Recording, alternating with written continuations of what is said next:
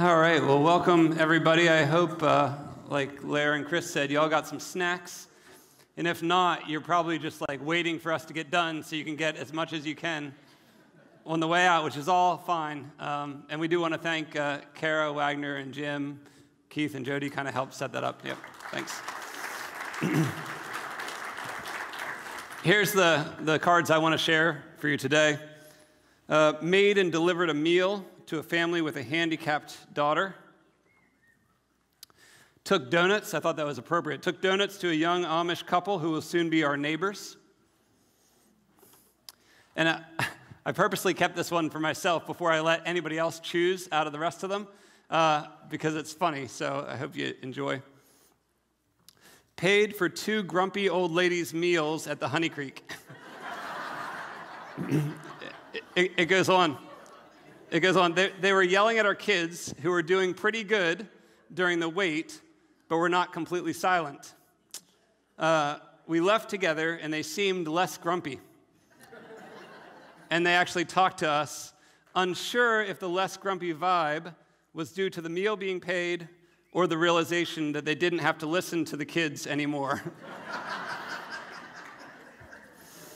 um, like I said, welcome. Uh, we purposely wanted the vibe today to be one where we're joining together and there's kind of a celebratory food and upbeat music and fun time. We got kids, which always brings vibrancy and life uh, to the upstairs.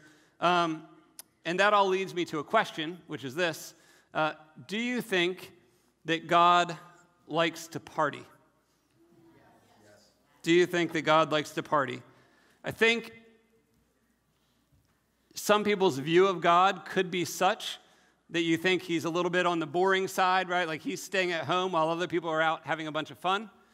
But uh, I think that God likes to party even more than you and I do. I think that's the case. Here's three, re- three ways to think about that. Number one, uh, it's not much of a partying book, but the book of Leviticus. If you ever read through the book of Leviticus, uh, God told his people, the Israelites, during, through that book, Quite often, he said to them, Stop and celebrate and party because of what I've done for you. Like he commanded the feasts, you know, Feast of Booths. We read it and you're like, oh, Feast of Booths, Feast of Tabernacles, what on earth? But really, what he's saying is stop and have a party because I love you. Number two, what about Jesus? Uh, well, Jesus came bringing uh, the gospel, which is known as great news, right? So he came bringing great news to help poor, to bring people together, to reconnect humankind with the eternal God. And that seems like something worthy of celebrating. In fact, Jesus himself was quite often accused of hanging out with people who are more the fun loving, partying type than the boring, kind of church going folks. Number three, uh, what about eternity? If eternity looks something like this, uh, at some point there's going to be a great wedding feast, right? Like a, a great banquet with a feast that's going to inaugurate an eternal party. So God's basically saying, at some point, I'm going to make all things right, and we're going to start a party that's going to last forever. That seems like that God is a partying kind of God. And for that reason, uh, I'm seeing today as something like a, a celebration or a party. And you might ask, a good question would be, well, what on earth, Luke, are we celebrating? Right? That's a, that's a valid question. Um, and it's, it's basically this it's that we get the chance to voluntarily participate in what God's doing. And I think sometimes in church it comes across as like, I'm trying to guilt you into doing something that, you know, is a, a ministry of the church or whatever. But we want to wipe all that away today and say we have the chance, we, we can celebrate the fact that we together have the chance to participate in what God is doing on this earth. Here's an, another way to say it is last week, if you were here when I, somebody vacuumed so that all the pieces are gone now, but uh, when I broke that clay pot, the idea is that we're broken jars of clay, and as such, we don't deserve to be part of this eternally good thing that God is doing. And yet, because of Jesus, we get the chance to participate in his reconciliation movement uh, in this world, or we get a chance to be in a transcendent. We get, you can stop. Here's something I've been giving a lot of thought to we all get the chance to stop our kind of like busy, hectic, uh, troublesome, catastrophic lives And the things that we do can like be transcendently, eternally valuable. And I just want to invite you into something like that today, right? Like that you have the ability to be part of something that's going to last into eternity. Um, another way to say that is that we get the chance to worship God. We get the chance together to worship God. And um, here's how Paul puts it in Romans chapter 12. He says, uh, I, I appeal to you, therefore, brothers, by the mercies of God, to present your bodies as a living sacrifice. In other words, in order to do this, you have to give up your body and say, I'm willing to sacrifice, kind of like we sang, I'm willing to give up what all I have is, is for you, God. You can give that up. Um, holy and acceptable to God, which is your spiritual worship. Which is your spiritual worship. Well, spiritual worship, like what, what on earth does that even mean? It sounds kind of like a church phrase. Like, like what, is that, what is that getting at? Like, what are you actually doing? Well, worship comes from uh, the Old English, uh, worth-ship. Worth-ship. So it's basically the idea if you're worshiping something, you're saying, this thing that I'm worshiping is worth a whole bunch. Right? Like it's, it's worthwhile, it's a valuable thing. And you're saying, the thing is so valuable that I'm willing to sacrifice something that I see as valuable for the sake of this other thing that I see as really ultimately the most valuable thing. And I think the problem that we have as Christians is actually not that we necessarily even have a wrong view of worship, but that we have much, much, much too small a view of worship. Too small a view of worship. For instance, maybe I'm wrong in this, but I think that when we think of worshiping God, we oftentimes place that either within an hour on a Sunday, or maybe you even permit, shrink it down to like the 20 minutes. And of course, we call uh, Lair, wherever he's at, Lair, uh, who I dearly love, we call him the worship leader. And it's like, in, in that sense, we kind of think, well, he's the person who's leading us during this time of worship, which is like the 20 minutes that we're singing songs, which is, I'm not saying that's bad, that's a very valuable thing. What I'm saying is it's too small, right? Like, like I said last week, I think we can worship through confession because we're saying we're a broken pot, which means we're not worthy. That means God is worthy.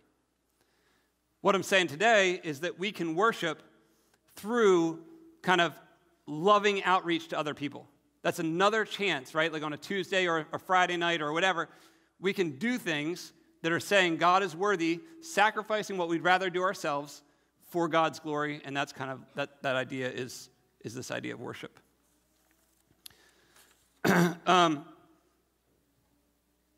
further down into Romans 12, Paul says this uh, verse 4 For as in one body we have many members, right, like that's us here, and online or wherever. For as in one body we have many members, and the members do not all have the same function. Well, this is cool, because that means that we don't all have to worship in precisely the same way. Like, Lord, help us all. Lord, help y'all if I'm up here with a guitar and singing, right? Like, we, that's fine. Thank you. Um, we don't all have the same function, so we, though many, are one body in Christ. And here's a phrase that I'm going to unpack next week uh, individually members one of another. So let's just skip over that for now, come back next week. Individually members of one another, having gifts that differ according to the grace given to us, let us use them. I want to, I want to hone in on that last phrase. Having gifts that differ according to the grace given to us, let us use them. Here's what that's basically saying We're all different. You all have different giftings from God. We all have different contexts, different families, different levels of freedom. All sorts of stuff about all of us is different, as it well should be. However, we all get to use them as ways to bring glory to God through worship by sacrificing our bodies to do good in this world in the name of, of, of Jesus. And so we don't want to minimize, I don't want to minimize your ability to use your gifts. And so we're going to say, I'm going to invite some other people to come up here today and share some opportunities that you can um, get involved with here through Kish to use your gifts to reach out and, and kind of worship God in these kinds of ways. What I don't want you to hear is that Pastor Luke is adding like three other categories that we have to have to fill in, and then we can't go beyond those things. I don't want you to hear that. What I want you to hear is we're giving you some on ramps here through church, but if you choose these ways, cool. And if you choose other ways to worship, if you keep doing non-random act of kindness every week and paying for grumpy old ladies' meals, like by all means do that too, right?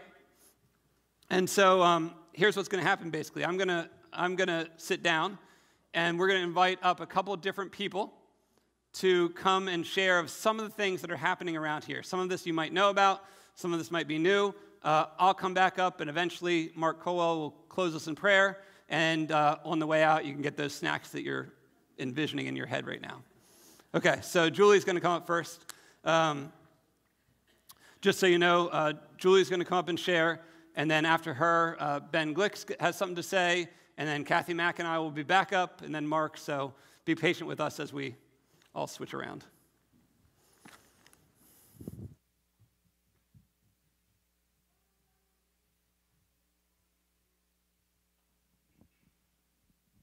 Good morning. Uh, I'm Julie Martin. My husband is Kirby Martin, and our girls, Kendall and Kinley. Um, it's kind of fun to look back and see how long we've been here now. Um, I am going to share a few of the non random act of kindness cards first also with donuts. That must be an easy thing. It says, took sweetie donuts to doctor's staff when taking my father for a checkup. Made several flower arrangements and delivered them to Valley View Haven. And my coworker is dealing with some hard things lately, so I went to work a few minutes early and left flowers on her desk before she got in. These are great reminders that the simple things um, are really great ways to be used. Um, many of you have heard some announcements I've done for the Indian Valley um, Elementary for us to adopt them and, and as a church um, do some great things to show them uh, who we are as a church. And so Pastor Luke had asked me, instead of just sharing kind of continuing what we're doing, but to kind of think of the vision. So um, just super fast, uh, before I, I, didn't come to know the Lord until I was 19.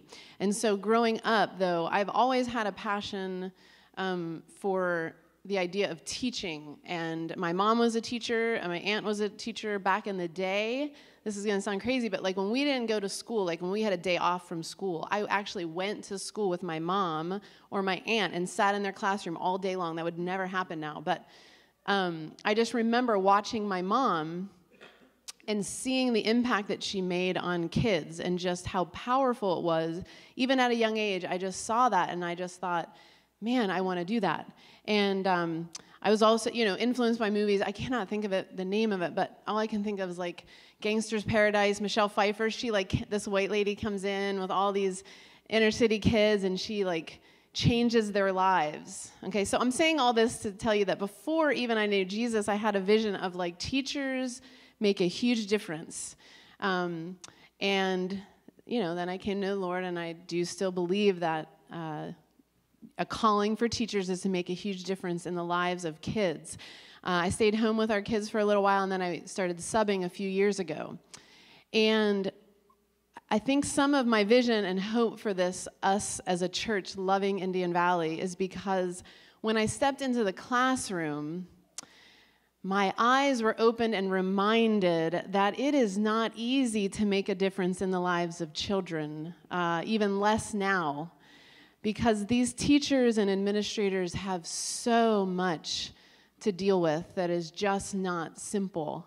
And so, as I was in the classrooms and as I saw more and more of the needs of the kids and all of where they're coming from, um, and the heaviness of just what the teachers see and what they have to do. And I spent a lot of time in the first grade classroom at the beginning of the school year, and you're just putting out fire. I mean, you you want to teach them, but you're like trying to get kids to stop putting pencils up their noses and you know like there's just a lot that they have to do and there's like 20 of them in the classroom and so um, as i was thinking about this vision and and reading in second timothy kind of what Pastor Luke just shared out of Romans that we as a body, um, we can be used. Second Timothy 2 um, talked about in a large house there are instruments, some for noble purposes and some for ig- ignoble. And we can be, if we cleanse ourselves, it says, confess, kind of come with a an awareness of our own civilness. If we, we go, we can be used, I believe,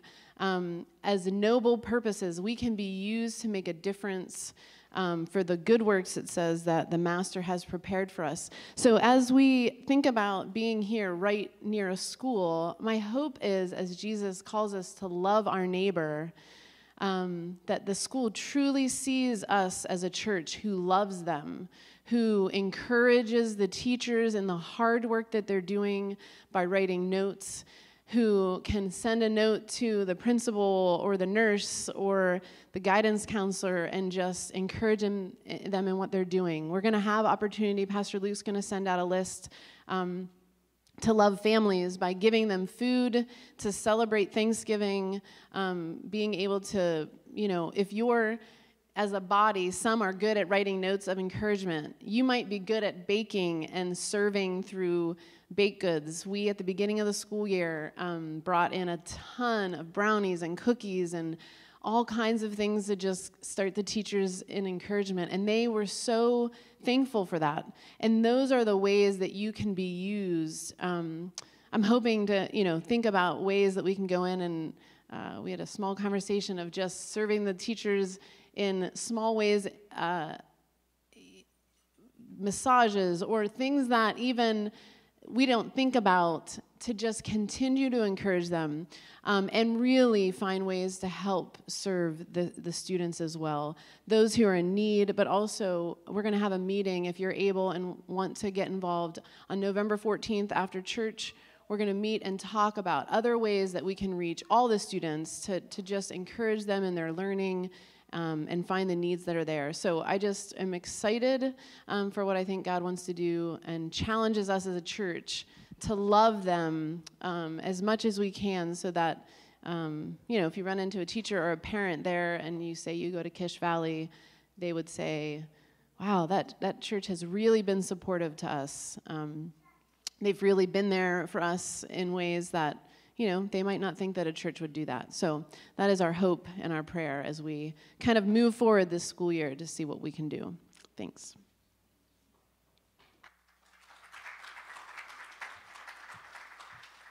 Thanks, thanks, Julie. I'm going to share some uh, random, not random acts here as well. I helped move a heavy picnic table for a neighbor on Saturday, and I gave a wonderfully friendly and helpful receptionist at an office I frequent a gift card to a local cafe. She figured out it was me and sent a very sweet thank you email. Prayers that she asked me more about Jesus. So that's a really cool story, too. Um, I'm going to talk a little bit about uh, an opportunity we have with, uh, with, with a foster care system. Um, there's, a, there's a, I guess it's a group um, that they're creating um, to meet foster care families' needs who have a placement or, or someone put into their home. Um, and that happens, if you don't know, that could happen at any time. It could get a call at 2 in the morning, um, 8 o'clock at night. And if you don't have the resources, um, that could kind of be an issue. So, what the concept here is, um, I guess I can go through a couple stats. You guys can read them. There's typically averaging 55 kids in foster care. And these are kids that they don't choose this lifestyle, they just kind of get forced into it. Um, up to 80 at times.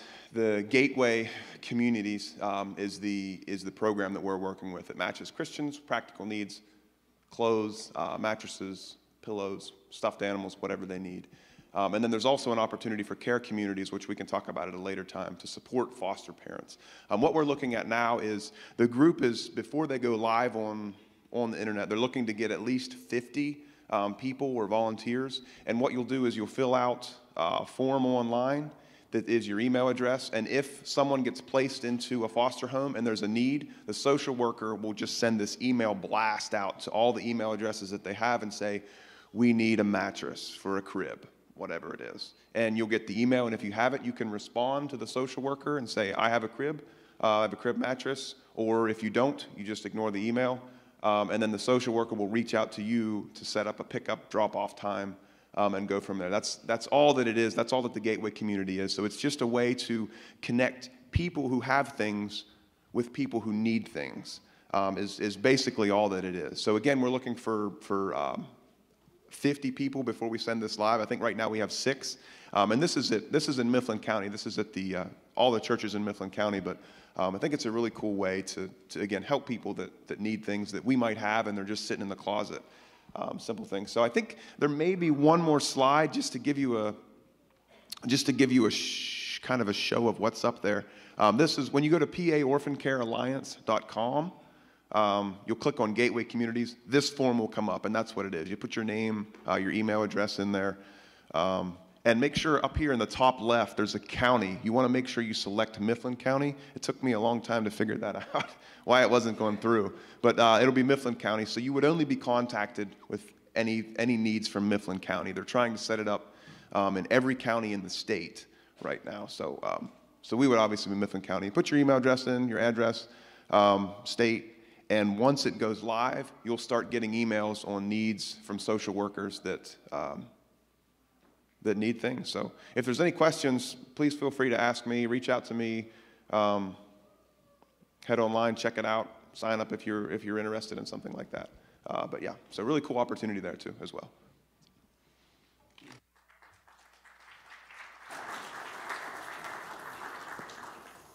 Thanks, Ben. Um, yeah, so there, we're trying to get 50 uh, folks signed up for that in all of Mifflin County, other churches as well. So I thought, you know, if we can get 20 or so people, it's really simple. You're just signing up and saying, you can email me if there's a, a need. There's no obligation to, for you personally to fulfill that need to help kids in foster care. So uh, here you go, Kathy. Uh, I'm going to let her first uh, read uh, her non random act of kindness, and then we'll get into the next thing. I think so, yeah. Um, the first one is someone shared food with a needy neighbor. I love this one because it obviously came from a young person.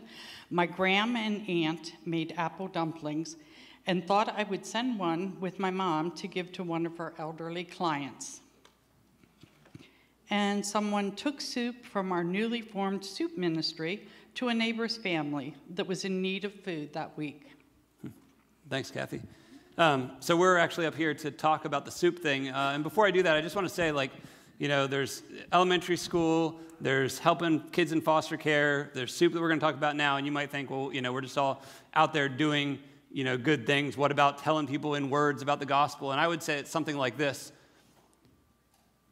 You back up your words with your actions. And so to me, those two things fit together perfectly that, like Julie said, if people see us and see us as a church that's reaching out and like actually doing loving things for everybody around us and saying that we love people and that God loves them, that all seems to fit together really well. And so the third way, way we want to share about that today is about the soup thing, which I'm, some of you might be aware of this uh, that's happening. Uh, again, we're inviting you to participate in this. Uh, I'll, I'll start out by telling a little bit of the story. So it goes like this. Um, it was probably a year, year or so ago. You guys, some of you might remember me standing up here and saying something like, We have a whole bunch of money here at Kish, and we're trying to find ways to spend it for the glory of God. And the deacons were looking at me like, You know, what in the world are you saying?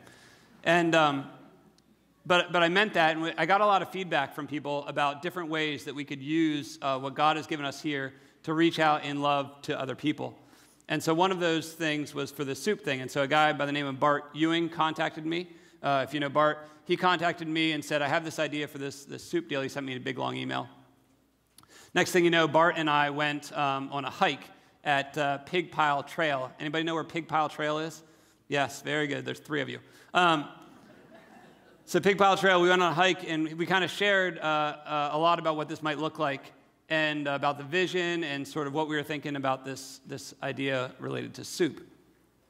And it turned out that we were pretty similarly linked about, about that. And then next thing you know, uh, Bart sort of compiled a group of people, started meeting. We put up a proposal to the deacons at the end of uh, last spring. Uh, they said, Yeah, this sounds awesome. Let's go forward with it.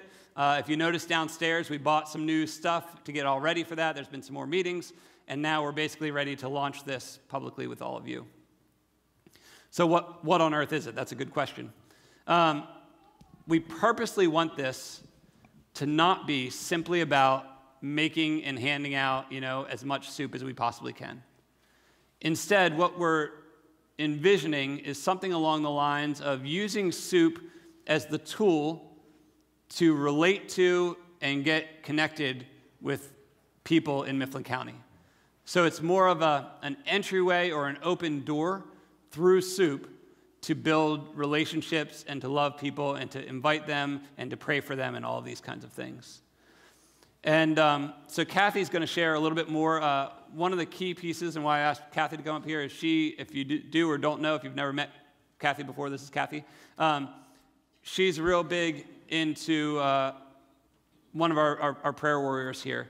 And I'm so thankful for her because not just related to soup, but other areas, but she's really passionate about making the soup thing. I, I think some churches, you either go to like, we're going to do good deeds for people, or we're going to tell them the gospel, one or the other. And I think here at Kish, my vision is that I want us to do both of those things. And I think prayer is sort of the linchpin between those two things to make them happen simultaneously and not as two separate entities. And so this is real important stuff. And so Kathy's going to share a little bit about that now. Thank you. My, i talk with my hands, so, so microphone goes like that, I'm sorry. Um, God has gifted me at this portion of my life with um, an abundance of time and a true heart to speak to Him in prayer on a daily basis about many things. And when this soup ministry um, started up and running, um, we had decided that we wanted prayer to be an integral part of every aspect of this ministry, not just of the giving of the soup, but we wanted God's guidance, His advice, and His wisdom in every step going forward um, of this ministry. So, um, because of that, we prayed quite frequently, actually, at every meeting we had um, for his guidance and where he was going to lead us with this. We continued to pray in that manner. Out of that sprung a group of five people that I personally contacted, who I also knew were in the situation that I was, that loved God and loved to talk to Him. And so we've been praying for the soup ministry. But now I am offering that to the congregation. We are actively seeking people to be a part of that prayer group, um, specifically for this ministry, and I'll explain to you why. Um, as as you pick up soup here at our church, which is going to be available for anything, neighbor has a baby, new family comes into the neighborhood, a death, you just want to go visit someone, the soup will be available to anybody in the congregation. But we will have these books that are going to be right outside the um, freezer. And I, we just ask that you write down the purpose of the soup and the date, real simple. Um, also, as groups begin going out and taking soup into the community, we're also going to send them with these. Um, how simple but yet profound it will be that if, as you're having a conversation with somebody that you're giving soup to, that you can just say, Is there something I can pray for you today? And we're asking that you then just pray a simple, short prayer. And then again, write it down. And this is why we need this group. We're going to be updating our prayer list um, depending on how it goes weekly, monthly. And the group of people who are committed to pray for this ministry, we're going to be sending you out a sheet of specific things to be praying for within our community and also continuing to pray for the soup ministry. That we are doing this exactly as God intends, and that we are able to reach people for God through this ministry. It's so easy to get a ministry like this up and going and to completely get so involved in the making of the soup or the giving of the soup that you completely forget that our intent is to take God to this world. So, very good. Thanks, Kathy.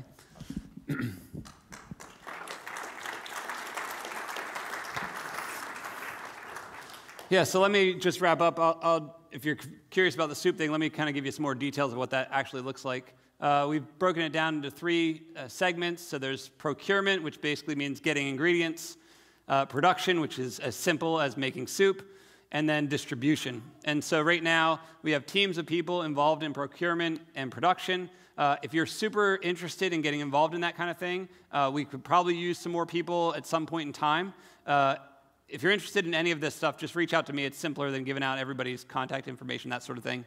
Uh, where we're going to need help is, is distribution. So the idea is that we're going to freeze the soup in quart containers. There's already a new freezer that's down in what was the old nursery. Uh, you go in there, and there's just a whole bunch of soups with labels and the whole nine yards. And the idea is, uh, like Kathy said, to kind of give it away in three different ways.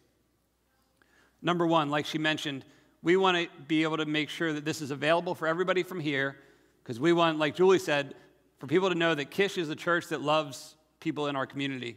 And so the soup will be there. If you want, you have a neighbor situation, you have uh, somebody that you know, their family died, whatever, you get some soup, you take it to them, Kish Church, we love you, that sort of thing. Uh, number two is we're going to do soup distribution. So we'll put this up on Facebook and let people know that we're going to hand out soup. The idea, like I said, is not to give out 4,000 quarts of soup as fast as we can. The idea is to use giving out soup as a way to connect with people who are in need and show them that we love and care for them.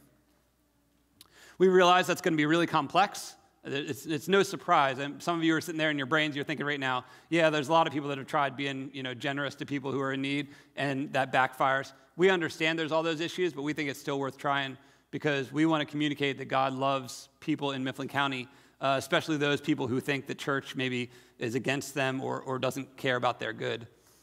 Um, the third thing we'd like to do is eventually we're going to have some soup meals here uh, where we invite people to come and, and enjoy a good soup meal put on, hosted by us um, to begin to relate more deeply with them.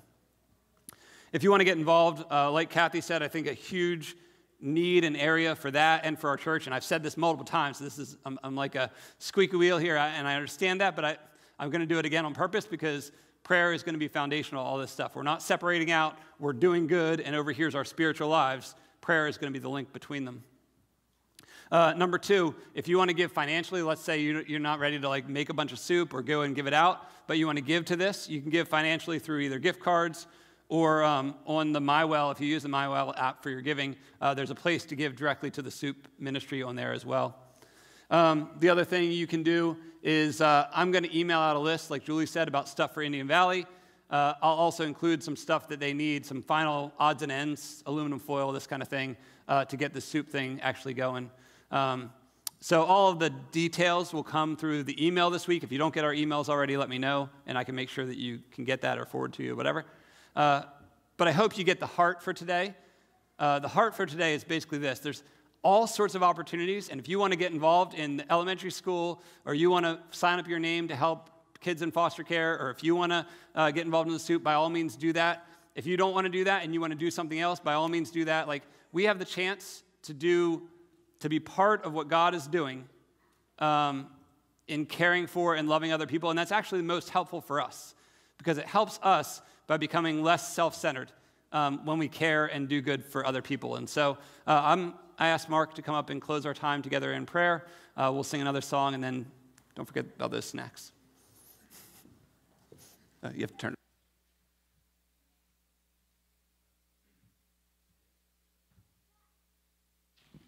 All right. Uh, this is a really exciting time, as you've heard this morning. Um, if you've never been the recipient of Kathy's prayers, it's, it's wonderful. So uh, let's pray. Heavenly Father, we thank you for what we have heard about here this morning and those acts of kindness that people have already carried out. Uh, we ask that we continue to look for ways to bless others, such as the IV Elementary Project, the orphan needs that Ben mentioned, and the soup project that Kathy talked about. Lord, make us aware of places and circumstances we can show your love for us by helping others in your name. Lord, we thank you for the people involved in these projects. We pray going forward, our eyes are open, our ears are listening, and those prompts lead, us, lead to our hearts giving and our hands doing. Let us see the hurting, the lonely, and those in need. Let us be your church as you see fit leading us to look beyond those we recognize from Sunday morning to those outside who we can help, but not forgetting those among us who can use a hand as well. Lord, we thank you for those that sense these needs. We pray that we are led to take action not of feeling guilt or obligation, but out of the joy we receive from you and the blessings you have given to us. Lord, we know you don't need us to be your hands. You are more than capable of doing this all by yourself.